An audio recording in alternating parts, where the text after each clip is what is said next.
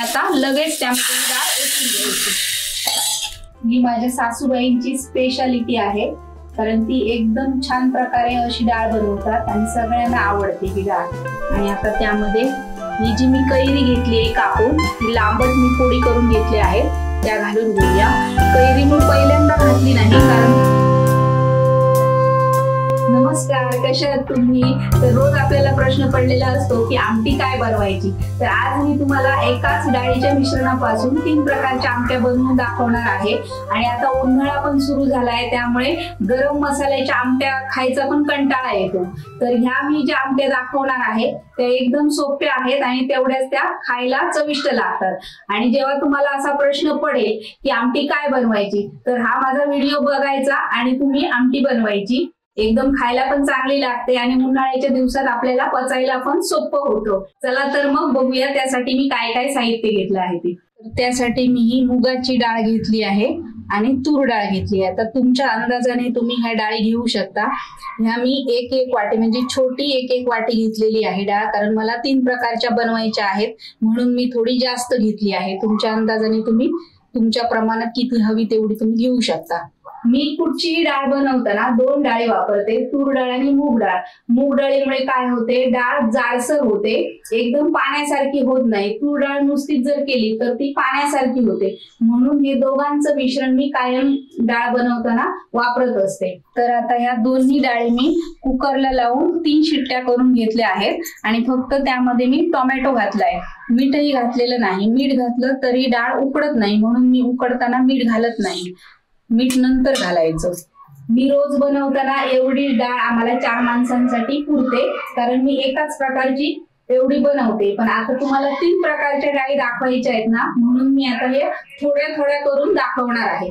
तर आता याचे तीन भाग करून घेते. मग आपल्याला वेगवेगळ्या प्रकारच्या तीन डाळी बनवता येतील. तर पहिल्यांदा आपण बनवूया कसुरी मेथीवाली डाळ. तर त्यासाठी आता ही मी डाळ घेतली आहे. तर इकडे हे भांडं ठेवलं. आता यामध्ये दोन ते तीन चमचे तेल घालून घेऊया. आता ही माझी मी थोडी डाळ बनवते आहे त्यामुळे मी सर्व साहित्य थोडं थोडं घालणार आहे. तुम्ही जेव्हा बनवाल तेव्हा तुमच्या अंदाजाने हे सर्व साहित्य घालायचं. जेवढी तुमची डाळ असेल तेवढं हे साहित्य घालायचं. हे आता पाव चमचा मोहरी पाव चमचा जिरं कढीपत्त्याची पानं सात आठ अर्धा चमचा आलं लसूणची पेस्ट एक चिमूट हिंग आणि आता हे मिश्रण चांगलं तेलात परतून घ्यायचं. आणि आता ही फोडणी आपली तयार झाली. आता त्यामध्ये ही डाळ ओतून घेऊया. आणि आता जे मी काही प्रमाण दाखवलंय फोडणीमध्ये घालायचं ते माझी थोडी डाळ आहे म्हणून मी थोडं थोडं वापरलंय. तुमची जेवढी डाळ असेल त्या प्रमाणे तुम्ही कमी जास्त करू शकता. थोडं जास्त टाकायचं जास्त असेल तर. आता ही थोडी आहे म्हणून थोडस घातलंय. तर आता त्यामध्ये ही कसुरी मेथी घालणार आहे. जास्त डाळ असेल तर तुम्ही कसुरी मेथी सुद्धा जास्त घालू शकता. तर मी आता ही थोडीशी घेतली म्हणजे अर्धा चमचा होईल. तर ही आता थोडीशी हातावर अशी चुरडून अशी त्यामध्ये घालायची. आणि याला आता चांगली उकळी काढायची. कसुरी मेथीमुळे छान चव लागते डाळीची. तुम्ही एकदा नक्की करून बघा अशी डाळ तुम्हाला नक्कीच आवडेल ही डाळ. आणि चवीला मीठ घालूया. डाळ चांगली शिजलेली आहे त्यामुळे एक उकळी आली की गॅस बंद करून टाकायचा. आणि अजून एक महत्वाचं म्हणजे यामध्ये तुम्ही कैरी घालू शकता. कैरीने पण छान चव लागते पण मी आता घालत नाही कारण यांना आंबट नको आहे म्हणून. ही वेगळी बनवली आहे मी. दुसऱ्या डाळीमध्ये अजून मी घालणार आहे. आता त्यामध्ये ही कोथिंबीर घालूया. आणि यांना तिखट नको आहे म्हणून मी मिरची घातली नाहीये. तुम्ही या फोडणीमध्येच हिरवी मिरची टाकायची. म्हणजे थोडीशी तिखट आणि थोडी अशी आंबट म्हणजे कैरी घातल्यावर अशी म्हणजे चांगली लागते ही डाळ. तर आता ही आपली डाळ तयार झाली आहे. आता गॅस बंद करूया.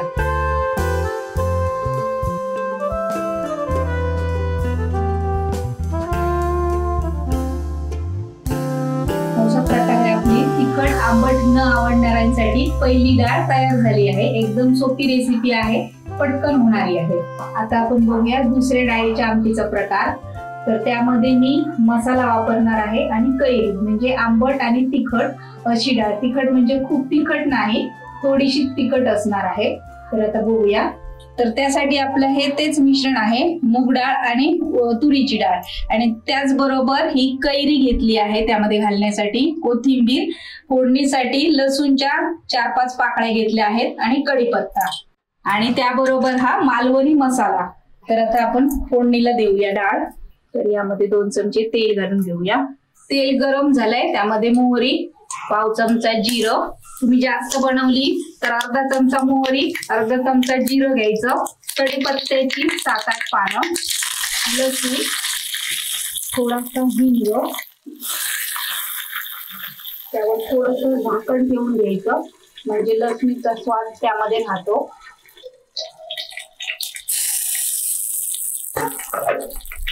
आणि त्यामध्ये हा मसाला घेतलाय.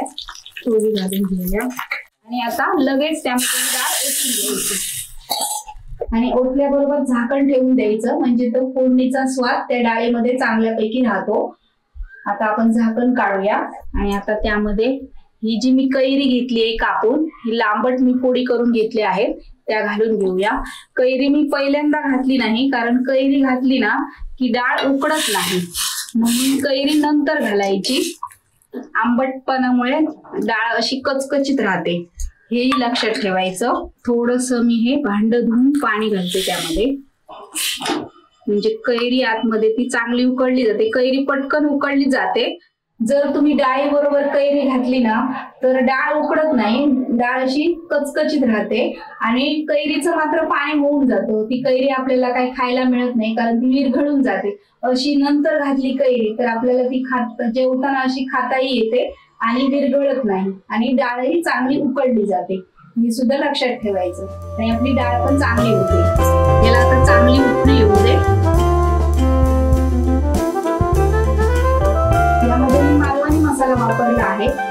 तुमच्याकडे कोणता असेल मसाला तो वापरू शकता.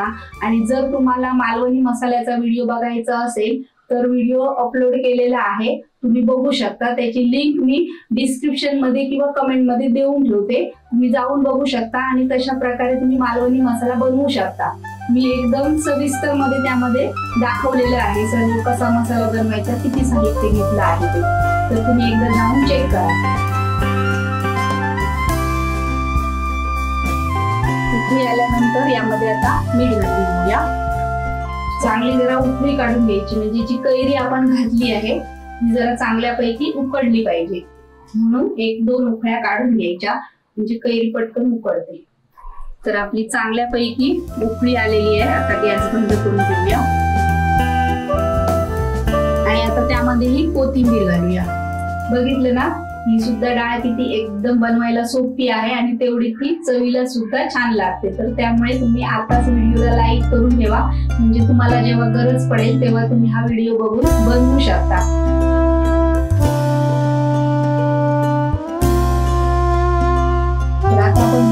तिसऱ्या डाळीचा प्रकार. तर तिला तुम्ही खोबऱ्याची डाळही म्हणू शकता. कारण यामध्ये मी खोबरं वापरणार आहे.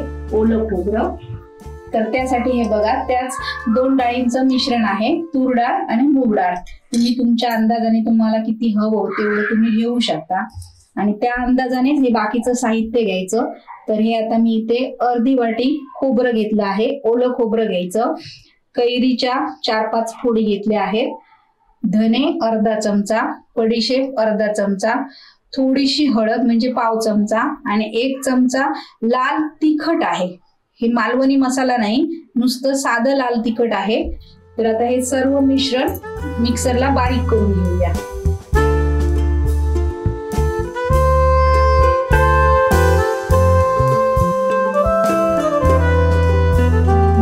थोडस पाणी घालते म्हणजे एकदम खोबरं बारीक वाटलं जाईल. थोडं अजून पाणी घालते कारण खोबरं थोडं असल्यामुळे पटकन वाटलं जात नाही. ही माझ्या सासूबाईंची स्पेशालिटी आहे. कारण ती एकदम छान प्रकारे अशी डाळ बनवतात आणि सगळ्यांना आवडते ही डाळ. तर हे बघा एकदम सर्व साहित्य बारीक वाटून घेतलंय. आता हे सर्व साहित्य वाटलंय ते या डाळीमध्ये मिक्स करून घेऊया. लाल तिखट ऐवजी यामध्ये तुम्ही बेडगी मिरचीही वापरू शकता. बेडगी मिरची भिजत घालायची आणि मग मिक्सरला वाटायची. त्यामुळे काय होईल? कलर चांगला लाल भडक येईल. इकडे बिडगी मिरची मिळत नाहीये म्हणून मी हे लाल तिखट वापरलंय. आता हे मिक्सरचं भांड धुवून त्यामध्ये हे पाणी घालून घेऊया. याला ही फोडणी देणार आहे. त्यासाठी हे दोन चमचे तेल घातलं त्यामध्ये. लसूण अशी ठेचून घ्यायची. त्यामध्ये मोहरी घालूया. अर्धा चमचा. अर्धा चमचा तुमची जास्त असेल डाळ तर तुम्ही अर्धा चम- चमचा वापरू शकता. मी थोडीशी कमीच घातली आहे. थोडस जिरं. लसूणच्या सात आठ पाकळ्या या मी ठेचून घेतल्या आहेत.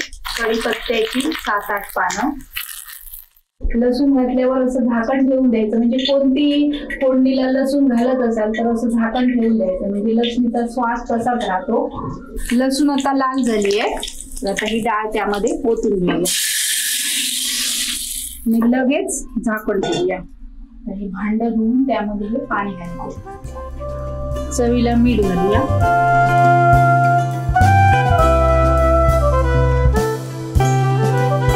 डाळीला तर छान आतापर्यंत तुम्ही नवीन असाल तर चॅनलला सबस्क्राईब करा आणि शक्यतो जास्तीत जास्त हा व्हिडिओ शेअर करा. म्हणजे बाकीच्यांचंही रोजच्या रोज काय बनवायच्या आमट्या त्याचाही प्रश्न सुटेल. बघा किती मस्त उकळी आली आहे आणि एवढा घरभर सुगंध पसरलाय. असं वाटतं माशाचीच आमटी उकळते आहे.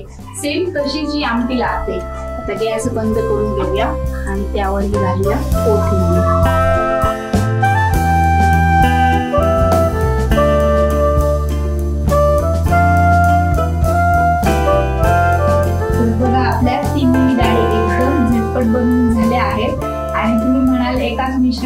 बनवल्या तर चव सारखीच असेल तर तसं नाही. तीनही डाळींची चव वेगवेगळी आहे आणि महत्वाचं म्हणजे आताच्या दिवसात जर तुम्ही बनवली ना तर त्यामध्ये कैरी नक्की घाला. कैरी नाही तर मजाच नाही. तर अशा प्रकारच्या डाळी तुम्ही नक्की बनवून बघा आणि यातली तुम्हाला कोणती डाळ आवडली ते मला कमेंट करून सांगा. तर भेटूया पुढच्या व्हिडिओमध्ये तोपर्यंत धन्यवाद.